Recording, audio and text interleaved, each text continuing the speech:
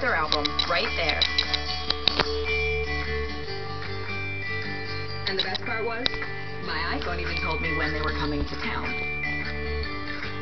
So all I had to do was buy the tickets. I still don't know how my iPhone